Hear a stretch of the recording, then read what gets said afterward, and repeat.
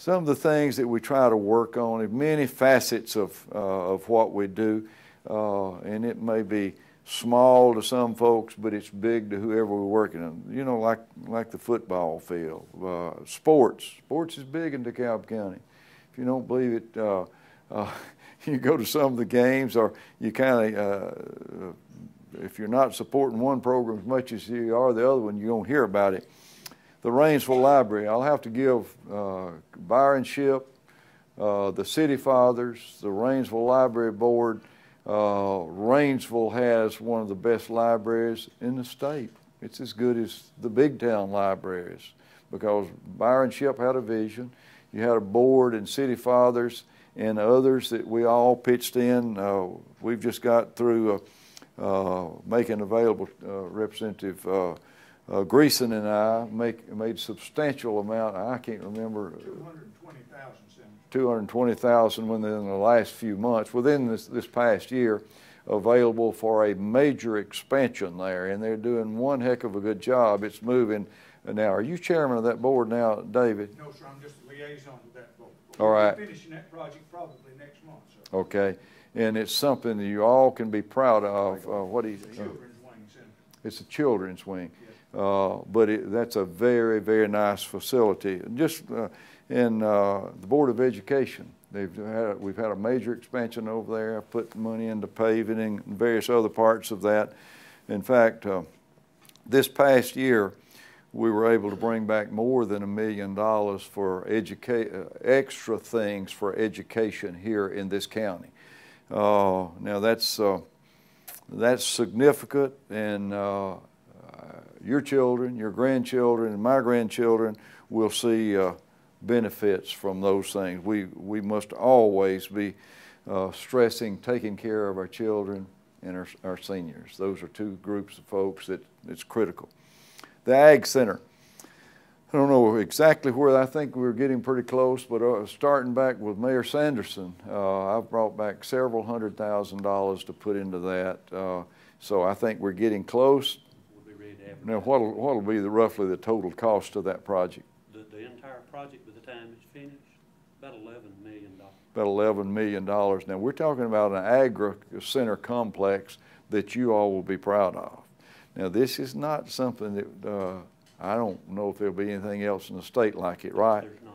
There's not. We're talking about having uh, horse shows, cattle shows, and uh, it's not just having shows, but they'll have enough stables there to take care of when people come from other states bringing their horses in. You've got uh, th th this is going to be something. This will bring in tourism to Sand Mountain like we have not seen, and and it'll be right here.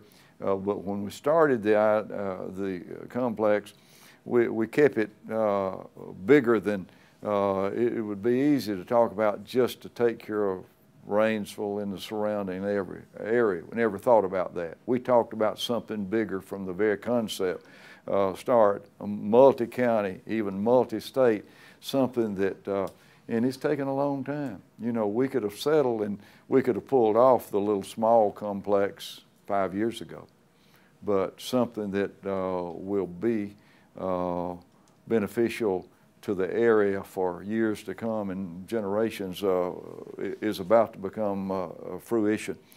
Uh, fire department, we always are having to get some additional money to help our fire departments uh, with equipment, et cetera, et cetera. The sewer system, uh, I've already talked about the sewer system, but I am very, very proud. Thank you, Councilman, for having that, uh, what I told them initially, and, and they, were not hard to persuade. You know, uh, instead of uh, not wanting to, uh, none of them felt that way, but if the people in Powell's, the people in Sylvania, uh, there's not uh, there are no fast food restaurants there. They're going to do most of their trading in Rainsville anyway. Let's all be one people and we'll all help each other, and it's working out really really good. Uh, uh road projects, of course, we've been constantly working with the city uh, on repaving projects, street projects. there's something just just little improvements that get constantly made. the DeKalb annex. Now there was there was a lot of effort, a lot of political wrangling. That was not easy, was it, Roy? We'll see, uh, stuff like that in, in the, the Board of Education. The Board of Education wouldn't be here if the, uh, the city hadn't, uh, the city fathers hadn't had a bigger view of things and uh, been willing to help uh, furnish the building.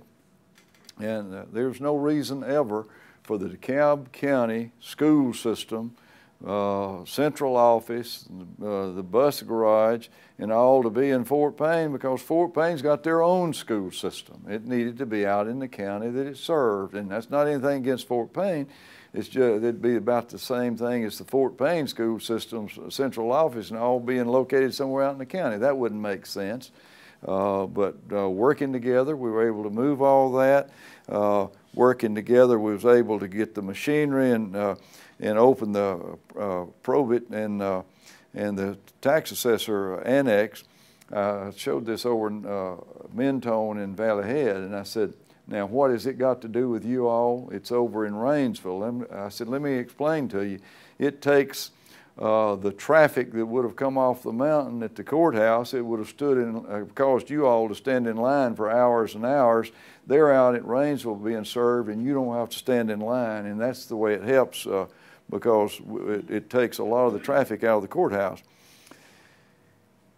This uh, is kind of a sad situation. Uh, most of you will remember when this is the gentleman who was who works down at uh, Woodson Jones Chevrolet. Uh, he was hit head on by a couple of teenagers that had stolen a vehicle and were fleeing, eluding the police, if y'all will recall, over near the uh, high school. I looked into that at the time and I was standing there talking with him. We're working on legislation. Fleeing the police today is only a, a, a misdemeanor. It's not a felony. I, a misdemeanor is just like uh, a small traffic uh, ticket or whatever. That's a misdemeanor.